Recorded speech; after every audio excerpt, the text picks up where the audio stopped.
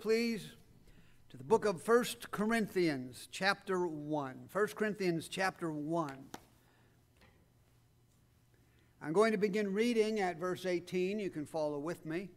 1 Corinthians, chapter 1, beginning tonight at verse 18. The Bible says, For the preaching of the cross is to them that perish foolishness, but unto us which are saved it is the power of God. For it is written, I will destroy the wisdom of the wise, and will bring to nothing the understanding of the prudent. Where is the wise? Where is the scribe? Where is the disputer of this world? Hath not God made foolish the wisdom of this world? For after that, in the wisdom of God, the world by wisdom knew not God. It pleased God by the foolishness of preaching to save them that believe. For the Jews require a sign, and the Greeks seek after wisdom. But we preach Christ Jesus crucified Unto the Jews a stumbling block, and unto the Greeks foolishness. But unto them which are called, both Jews and Greeks, Christ, the power of God and the wisdom of God. Because the foolishness of God is wiser than men, and the weakness of God is stronger than men. Let's bow, please, for a word of prayer. Father, how we love you tonight and how we thank you for being God and for being the God that you are, for your attributes and your qualities, for the way you are. For Father, we're just so dependent upon you, and we're so thankful that you're merciful and gracious and kind. And we just pray tonight that as we look into the Word of God, that your Holy Spirit would not only open the lips of your servant to speak, but the heart of everyone watching, listening, and in this place, that we might receive the Word of God, that we might grow thereby, that we might be enlightened thereby, that, Father, you might be glorified in it, Jesus might be magnified, we might be edified, sinners might be saved. We'll give you all the glory for what you do. In Jesus' name, amen.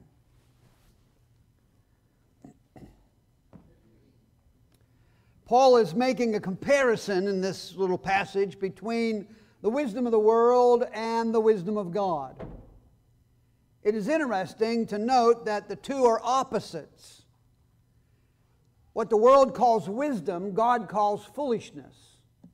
And what God calls wisdom, the world calls foolishness. Look at chapter 3, if you would. Turn over there. Look at verse 19. For the wisdom of this world is foolishness with God. For it is written, He hath taken the wise in their own craftiness. And so the world thinks that what God calls wisdom is foolishness, and God thinks what the world calls wisdom is foolishness. If you look at verse 18 in chapter 1 again, it says, For the preaching of the cross to them that perish, it's foolishness. But to us, which are saved, is the power of God. So the world thinks the preaching of the cross is foolishness. Look at verse 21. For after that, in the wisdom of God, the world by wisdom knew not God. It pleased God by the foolishness of preaching to save them that believe. And so God says his wisdom is preaching, and the world says it's foolishness. The world sees preaching as foolishness, doesn't it? The Bible says it's the power of God. The Bible says it's the wisdom of God. Look at verse 24. But unto them which are called, both Jews and Greeks, Christ, the power of God and the wisdom of God. So the preaching of the gospel of Jesus Christ is the wisdom of God, it's the power of God. And Paul writes that God's wisdom is so far above man's wisdom that man's wisdom is foolishness in comparison. Verse 25, because the foolishness of God is wiser than men, and the weakness of God is stronger than men. And so, Paul, by the Holy Spirit, is trying to give us this picture that if God had a weakness, that weakness would still be stronger than the strength of men. And if God had any foolishness at all, his foolishness would be wiser than the wisdom of men. So he's trying to help us understand there's not even, you know, God's pre kindergarten class is higher than the postgraduate studies at the world's highest university level Amen. when it comes to true wisdom. And why is this so? Because there is a wisdom that transcends human mind, a wisdom that is not of the physical universe, a wisdom that is a spiritual nature. John chapter 4, verse 24, the Bible says, God is a spirit. And therefore his wisdom is spiritual. Look at 1 Corinthians chapter 2, look at verse 12. Now we have received not the Spirit of the world, but the Spirit which is of God, that we might know the things that are freely given unto to us of God. Which things also we speak not in the world, words which man's wisdom teacheth, but which the Holy Ghost teacheth, comparing spiritual things with spiritual. But the natural man receiveth not the things of the Spirit of God, for they are foolishness unto him, neither can he know them, because they are spiritually discerned. And so there is a wisdom that is spiritual. And there's a wisdom that is physical. There's a wisdom that is natural. There's a wisdom that is supernatural. There's a wisdom of this world. There's a wisdom above this world. And one to the other is foolishness. Because in order to understand the spiritual wisdom, you have to have the Spirit of God. And if you don't have the Spirit of God, then the, then the spiritual wisdom is foolishness. You can't even catch it, you can't grasp it. Look at 1 Corinthians chapter 2 verse 8. It's, look at this, which none of the princes of this world knew. Now the princes, they're the most educated, aren't they? Sure they were. But they didn't even know this wisdom. They didn't even know this wisdom existed. And by the way, neither did you before you were saved. You didn't know this world existed. There's a whole world that came into play that you started seeing and knowing existed that you had no clue about before you got saved. Isn't that exciting? And so he says here, which none of the princes of this world knew, for had they known it, they would not have crucified the Lord of glory. There is a wisdom that can only be known by those in whom the Spirit of God dwells, verse 11 of chapter 2. Look what it says For what man knoweth the things of man, save the Spirit of man which is in him? Even so, the things of God knoweth no man but the Spirit of God. So the natural man knows the wisdom of man because he has the Spirit of man. And the child of God can know the things of God because he has the Spirit of God. So we have the unique opportunity and ability to, in our human spirit, understand the wisdom of men, but in our spiritual condition as having the Spirit of God in us, we can understand the wisdom of the Spirit. So we, we have an edge, wouldn't you say so? So Paul gives an illustration of the foolishness of God that's wiser than men. Look at verse 26 of chapter 1. For we see your calling, brethren, not, how that not many wise men after the flesh, not many mighty, not many noble are called. That's the world's wisdom, isn't it? That's who the world wants their leaders to be, and those are their heroes. Look what he says. Here's the wisdom of God. But God hath chosen the foolish things of the world to confound the wise. And God hath chosen the weak things of the world to confound the things which are mighty, and base things of the world, and things which are despised hath God chosen, yea, and things which are not, to bring to naught things that are. Verse 29, that no flesh should glory in his presence. God says, what the world thinks is foolishness, I'm going to take what they think is foolishness, I'm going to make it wisdom. I'm going to make it do things they couldn't, they can't believe it ever did. Man likes to boast in his baby talk wisdom. But true wisdom acknowledges its source, the Lord Jesus Christ. And I want to give you three wisdoms of God tonight that are the opposite of the wisdom of men. The first one we find in James chapter 4 verse 10. Number 1 is this. Here's the wisdom of God which is foolishness to the world. Number 1, the way up is down. The way up is down. Look at James chapter 4 verse 10. Humble yourselves in the sight of the Lord, and he shall lift you up. Now, the world the word translated humble yourselves here is the word, Greek word tapinao. It means to abase or to bring low. So God's saying, if you want to be lifted up, bring yourself low. If you want me, God says, to lift you up to higher ground, you need to bring yourself down to lower ground. If you want to be able to stand on your own two feet in, in the Lord, you need to start out on your knees before the Lord. The world says up is up and down is down. God says no, the best way up is down.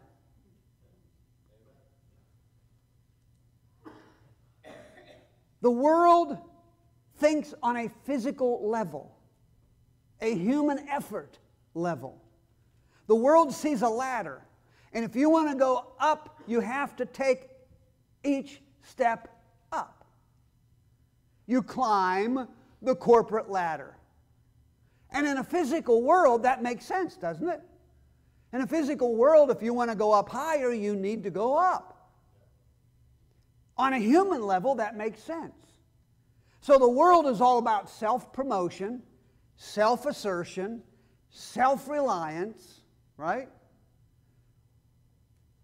God has given man an advanced brain. Now, you wouldn't know that half the time. But God has given mankind a brain that is far superior than any other creature on planet Earth. An advanced brain. And God has established physical laws that do not vary. And man, with his brain that God has given him, is able to learn and experiment and discover the natural laws that God has set in motion. Anytime we discover something, we're just discovering something God put there, that God set there, with the brain that God gave us. The natural man then works within these laws to accomplish what he accomplishes and to do what he thinks are great things. And so he uses his natural brain to meditate and postulate on things beyond his experience, and then he calls that philosophy or religion or theory or worldly wisdom. So here's what we got. We got man, he's got an advanced brain. So he's able to look out at God's creation. He's able to discover the God, God's laws that God put into operation. And with those laws, he's able to build things, he's able to discover things, he's able to invent things. But then man will sit with his advanced brain and he will meditate and he will think and he comes up with theories and he comes up with philosophies and he comes up with religions. But all his philosophies and theories and religions have to work within the framework of natural law. Because he's got a natural brain.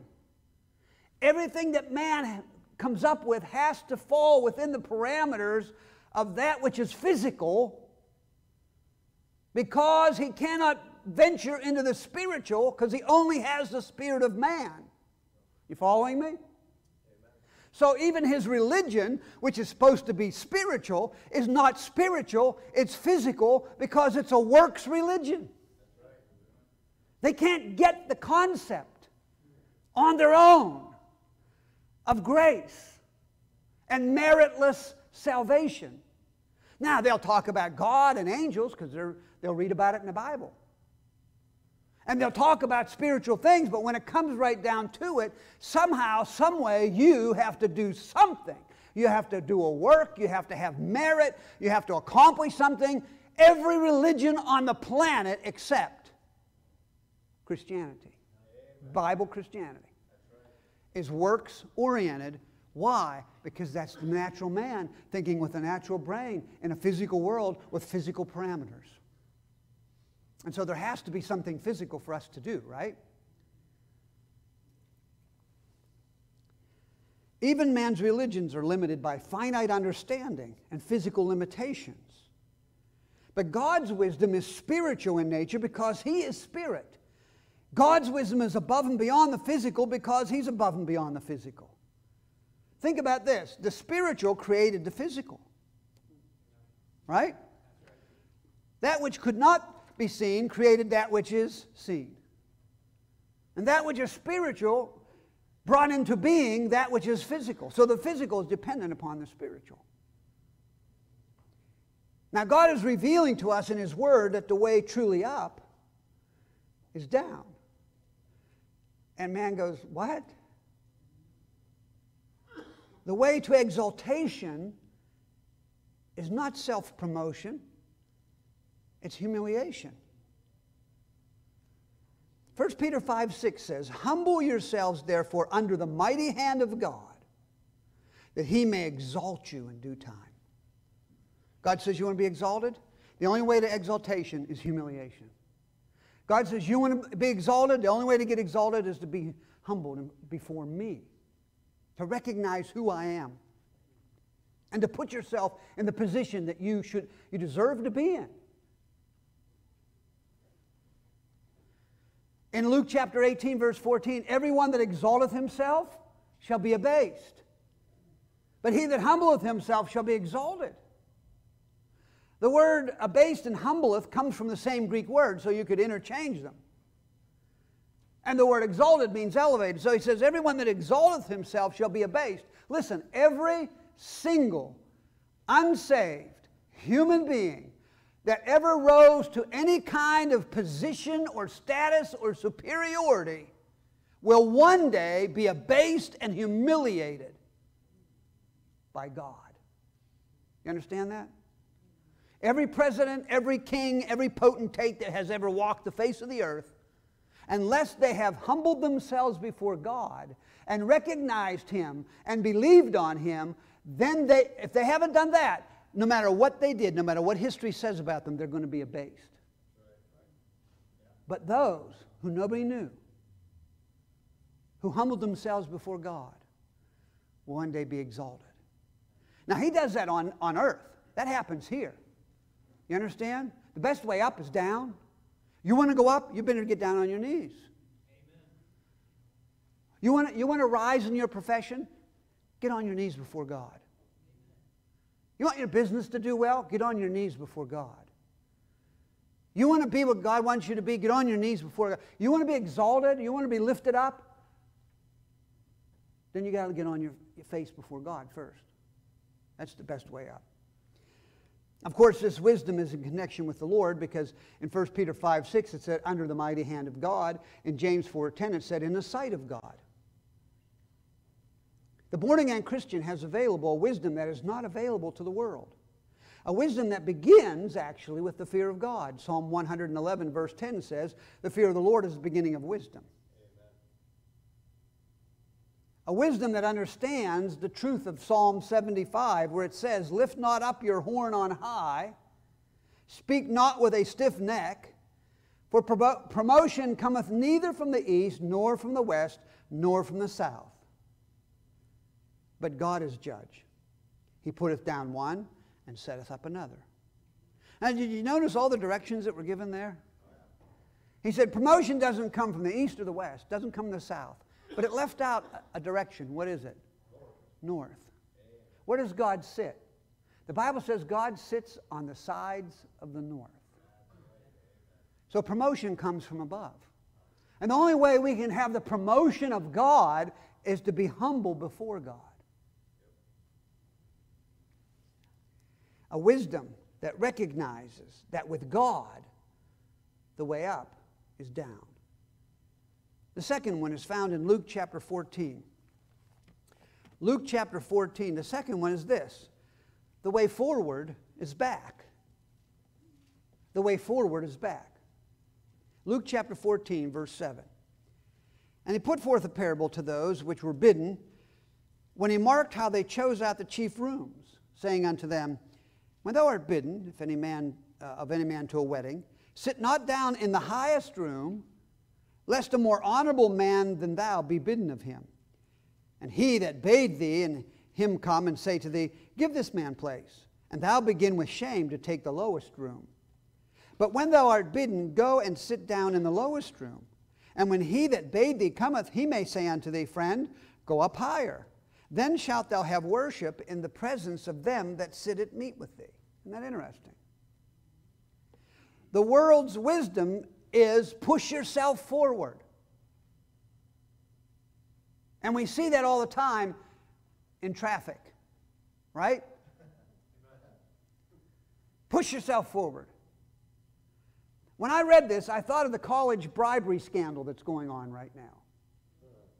These wealthy parents bribed and cheated and paid to get their children into prestigious Ivy League universities. And yes, they got in, but now they got to get out. See? They exalted themselves by pushing themselves to the front of the line, but now they're embarrassed and ashamed and are being sent to the end of the line. When they were at the front of the line because of their scandalous activity, they were all proud of themselves, they were exalted, they were in. And now they got found out. And now they're embarrassed and ashamed. They got to walk it all back and now they're dandelion. The Lord Jesus, actually, in this parable, is specifically speaking about the scribes and the Pharisees. Look over in Matthew chapter 23, where he addresses this. Matthew 23, look at verse 2. Saying, The scribes and the Pharisees sit in Moses' seat. Now look at verse 5. But all their works they do to be seen of men. They make broad their phylacteries and enlarge the borders of their garments. Here it is, and love the uppermost rooms at feasts and the chief seats in the synagogue. And so he was watching.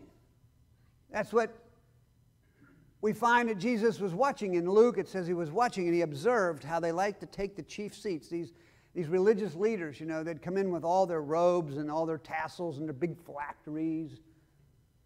And they'd walk in and they'd be all spiritually proud.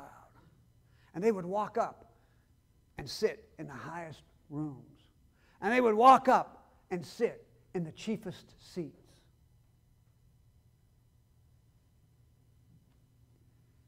And Jesus saw that. and he's, he preached against it. Now, one of my pet peeves is line jumping. I don't know about you, but that gets under my skin. Line jumping. You know what bothers me? When you're driving and there's one of those lanes, you know, and this one's all backed up, and you've been patiently sitting in the lane waiting because that's the one that goes straight, right? This lane here has to turn left and you've been patiently waiting and taking your turn, and here comes this guy, comes up that left hand lane, and he goes, ah, pulls right in front of somebody. He should be glad there's laws. You know what I do? I get, I get right up on the guy in front of me. I get right up on his bumper. And that guy coming down that left hand lane, he's trying to get in, he's trying to get in. I'm mm, ain't getting in here, pal. I sat and waited all that time. And then I'll see somebody, he'll get up and get in front of somebody. Ah, what's the matter with you? Would you let him in but I have a biblical, a biblical right to that attitude. That's what Jesus said, right? Next time I'm yell, Yo, Pharisee!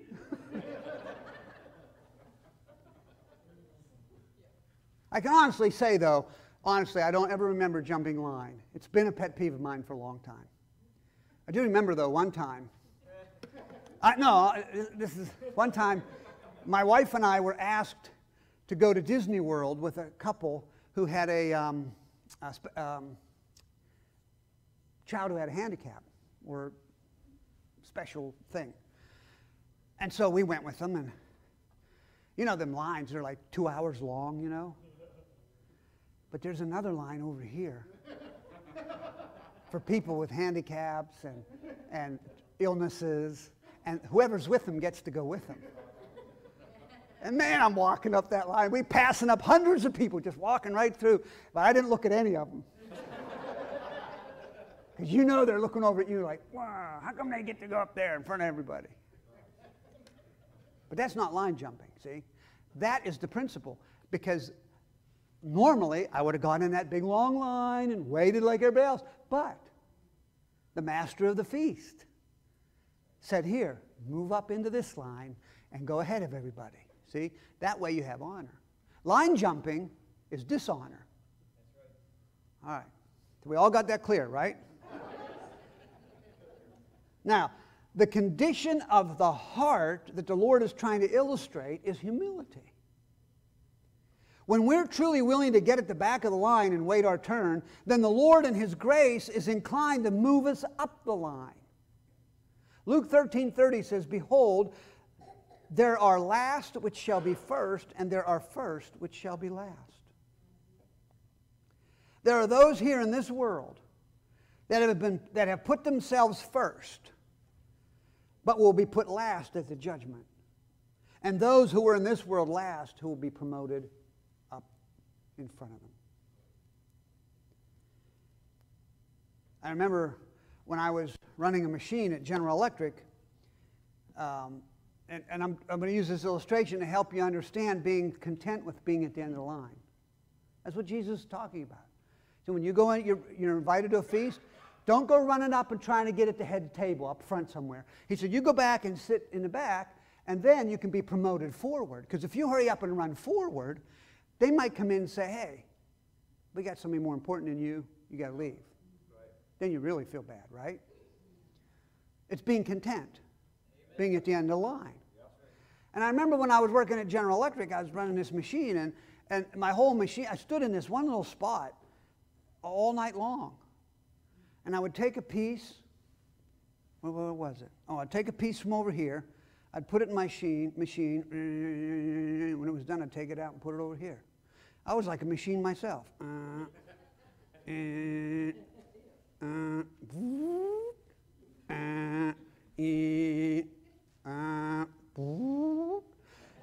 I did, I did it eight hours a day.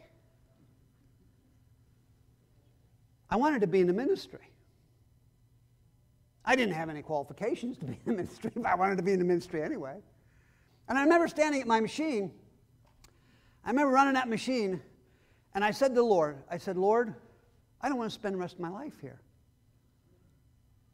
I really would like to be in the ministry. I said, but if your will for me is to stay at this machine the rest of my life, and your will for my life is that I should be here at this place and be a witness here and pass out tracts and witness to people as they come in and out, as they move around. That's what I'll do. If that's your will for my life, I surrender to that. That's what I'll do. But if it's possible, I'd like to be in a ministry someday. Well, when long after that that I got moved from that machine to another section of the uh, building where I was in charge of a whole line and it was a one man operation, and I ended up having like four hours a night of downtime. And I asked my boss, I said, Can I use that four hours to read? He said, Yep. I, I've, I read a veritable library. Amen. Hundreds of books I read while I was pay, getting paid. I went to college right there Amen. at GE. And got paid. Yeah, I didn't, I didn't pay to go to college. I was being paid to get my education. And obviously, I ended up in ministry. The whole point of the story is this when you come to the place in your life when you are honestly and truly in your heart satisfied and settled with the Lord, that you say, Look, if this is your will for my life, I'm okay with that. But you're allowed to tell God your heart, right? Amen. You have desires of your heart. You're allowed to say to God, Well, Lord, I, would like to do something else, but if this is your perfect will for me, this is it, and I'm happy with it, and I'll do the best I can. Now you're ready for God to move you. See? And that's what he's talking about here.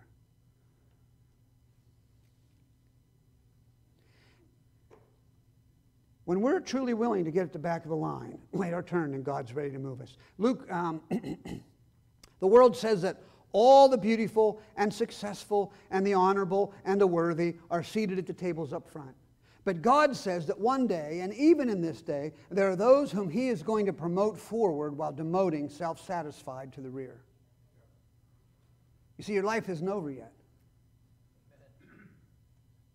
You don't know what God's going to do with you. You don't know what's going to happen tomorrow. You say, ah, I'm, I'm 90 years old. You know what? You don't know what God's going to happen tomorrow. Any more than I do. Everything could change tomorrow, next week. God could promote you. He could take you to the front of the line Amen. whenever He's ready. Maybe He's ready, waiting for us to be happy that we're even in line. Huh? Maybe you should say, you know what, you should be glad what you have. You should be satisfied and happy because you got more than you deserve. And when we truly get there in our heart, then God's ready to say, okay, now we'll move up. All right. The world says that, uh, you know, uh, and, and, and think about the day when we leave this world and we get that real promotion. Because the wisdom from above is that the way forward is back. And then my last one, number three, is found in Matthew chapter 10. Just turn a few pages. Matthew chapter 10 and verse 39, and Matthew chapter 16 and verse 25. So 1625 and 1039 of Matthew. And this one is the way to win is to lose. What? the way to win is to lose. Look at Matthew chapter 10, verse 39.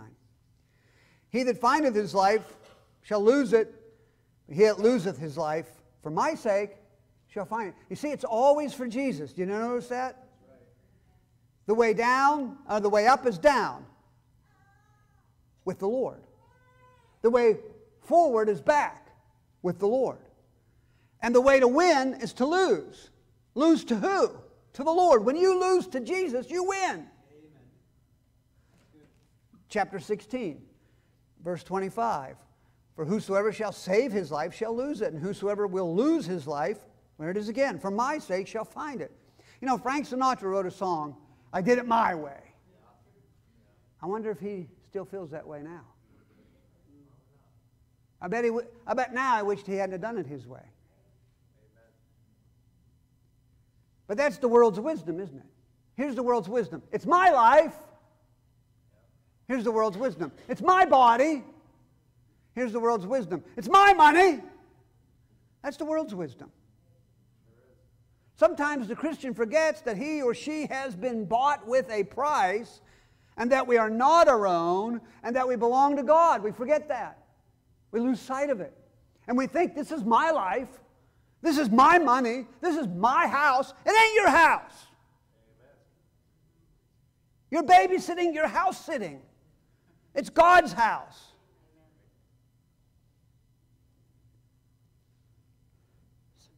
Some Christians think that they can live their life the way they want to, and they can. You can live your life the way you want to. You can do whatever you want to do. But while they think they're winning, they're losing. Hmm? Think about it.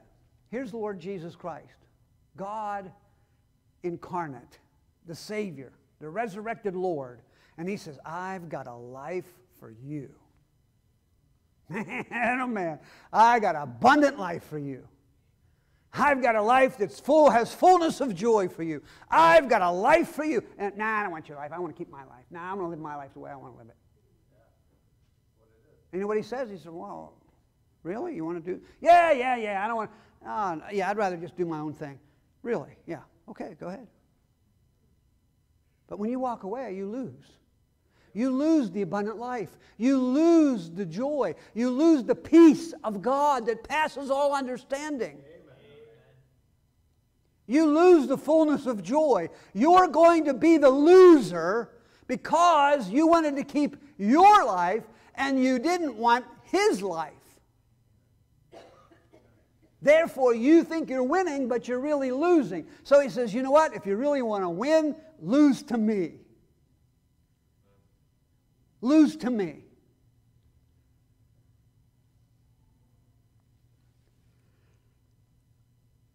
We lose what God had for us. And we don't even realize what we've lost. That's what's sad. We lose the blessing. Look at Matthew chapter 13, verse 44.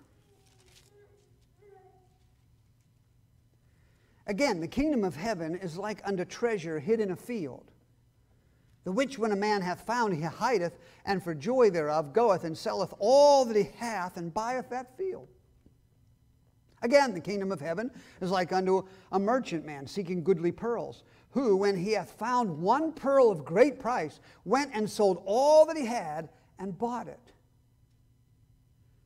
The kingdom of God begins right here in our lives. The kingdom of God is lived by his principles and his precepts. The kingdom of God is lived by submission to His will for, uh, for our life and letting go of our will for our life. We, the kingdom of God is this Lord, this is what I had planned, but you know what? Whatever you got is better, I'm sure. Lord, this is what I was going to do, but you know what? Whatever you want me to do. Now, the Lord might say, you know what? I think I'm just going to use you over there. Fine. Now, what you wanted to do and what He wanted you to do are both the same. But if you have to give one of them up, don't give up what He wants. Give up what you want because you don't really know what you want. He knows. You don't know what's best for you, but He does. You don't know what's coming down the road, but He does. And so you take your life and say, I think I can handle it, I can steer it, I can direct this thing. He says, Oh boy. And you lose what he had for you. It's allowing him to direct our path. Isn't that what the Bible says? The steps of a good man are ordered by the Lord. It is obeying his word and leaving the results up to him. This is losing our life. That means we lose our expectations, our requirements, and our worldly wisdom and embrace His. And what do we find in this field of treasure that he mentions in Matthew chapter 13, verse 44? That field of treasure, you know what? His, his will, his life for you is the field of treasure. You know what you find? It. You know what the treasure is in there? The peace that passes all understanding. The contentment, safety, joy, patience, calmness of spirit, on and on. We find the fruit of the Spirit and the power of the Holy Ghost over in His life. We can run on human strength, human wisdom, human ingenuity, human emotion, and human ways we learned from the world. We can do it. Or we can run on His strength, His wisdom, His insights, His emotions, and His ways. Both are going to bring different results and outcomes. One will be your life and its fruit, and one will be His life and its fruit. Who do you think is going to produce better fruit, you or Jesus? Huh? And when you get to heaven, or uh, you think you're going to be able to stand in the presence of the Lord and say, Boy, Lord, I'm glad I picked my life. Yeah, right. No, you're going to say, Lord, I'm sorry. I, I, I was a loser. I, lost what you had for me. And I, I, I, I, I accepted this pitiful life compared to what you had for me. Look, I don't care how good your life is. I don't care how wonderful your life is. It's pitiful compared to the life Jesus has for you. He said, if you lose, the best way to win is to lose.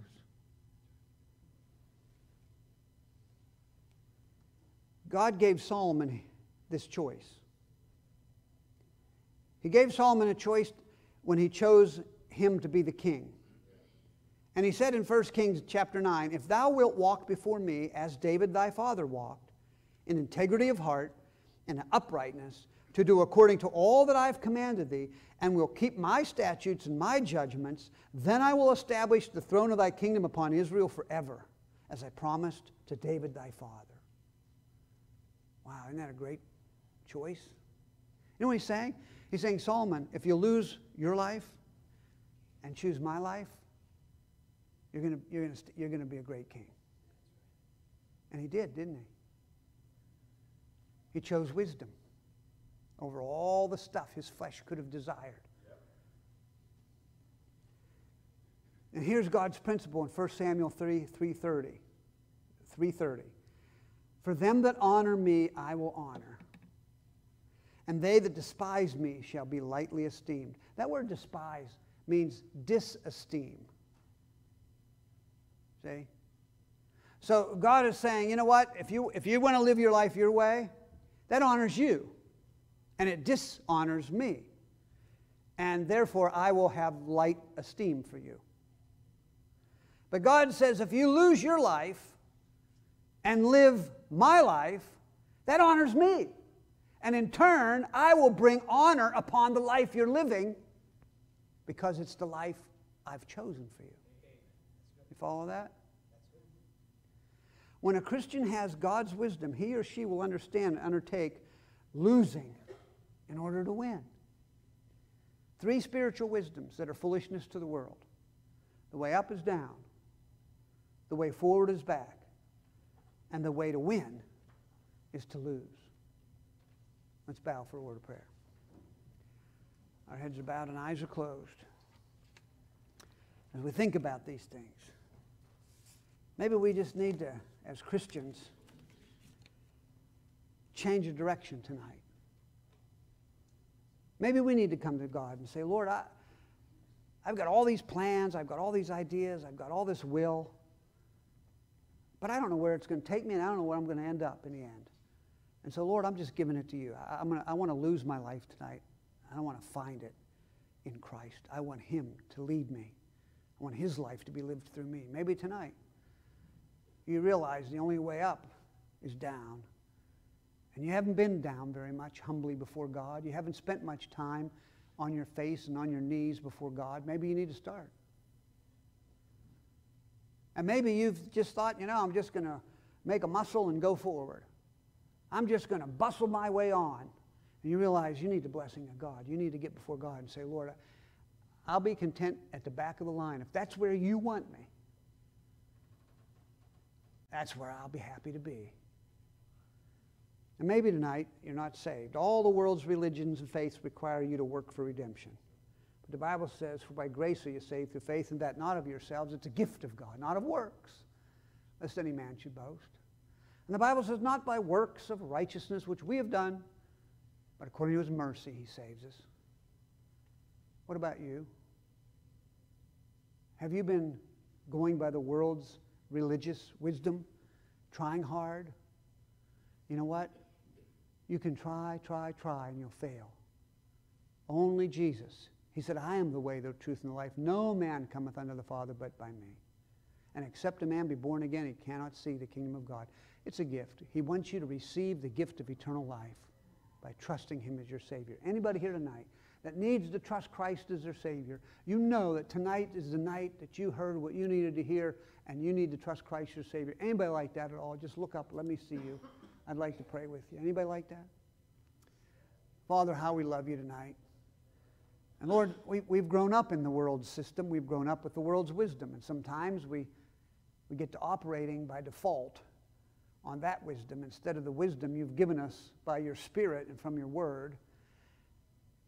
And Father, when it doesn't make sense, if it's your Word, it doesn't have to make sense, really. We just need to trust it.